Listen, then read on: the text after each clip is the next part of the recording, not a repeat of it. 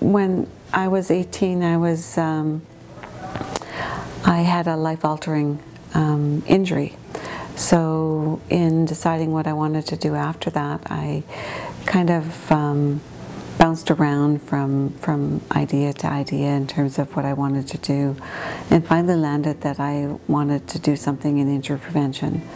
And when I went back to university in 1985, I really went back to university with the idea of, of of becoming a psychologist or somebody that could help people with acquired disabilities to adjust to the changes that it, it makes in your life. When I went back to university in 1985, I really was going with, with the idea that I wouldn't stop till I got a PhD. And um, over the years, I've done my master's while working full-time, and I did my PhD while working full-time too. So it's been a lifelong dream of mine.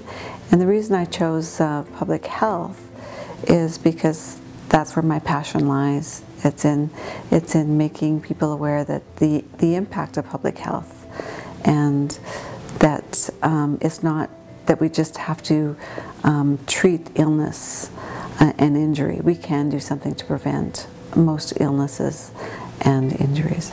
Public health has a lot to offer all students um, in terms of the breadth of public health, but I think that my advice would be to find something that they're passionate about and um, really hone in on one area, whether it's uh, you know dealing with HIV in in Uganda, to water issues in sub-Saharan Africa, to injury prevention. Find something that you're passionate about and grow that passion.